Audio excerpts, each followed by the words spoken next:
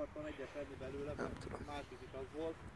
Tudod, amit eladtam, 32 ezer volt.